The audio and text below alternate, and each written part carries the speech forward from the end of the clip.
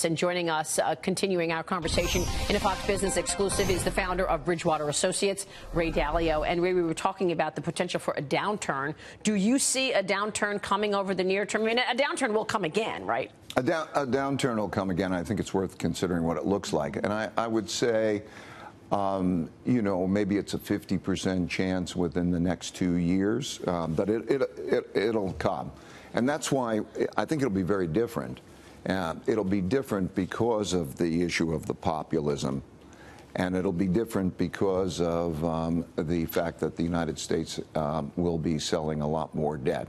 So I think um, when setting monetary policy or when we think about the behavior of markets, we have to think about how this next one will be different. And I'm glad that you're you're you're studying and have written this book on big debt crisis because debt may very well be a catalyst for the potential of a downturn. Let me mention that Principles for Navigating Big Debt Crisis is Ray Dalio's book, and it is free online.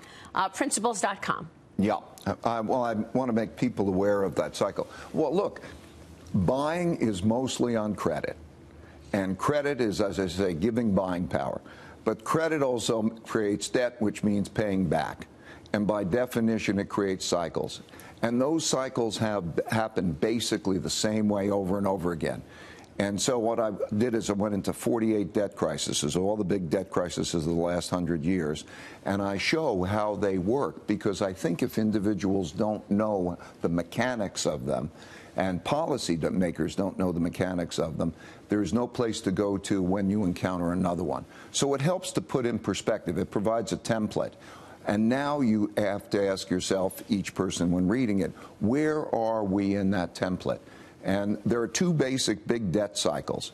There's the short term debt cycle we talk about, which is we think of as the business cycle, recession, put credit in, stimulate it, and then tighten credit, and then markets tighten and, and go down, that kind of movement. And then there's a long term debt cycle, which is the accumulation of those, which has to do with how close you are to zero interest rates, mm. and then at zero interest rates, the printing of money. So I tried to make that clear so people could put things in perspective. Such an important book. Ray Dalio, thank you. You're going to be my guest on Wall Street this weekend. I want to ask you where the growth is in the face of all of this debt.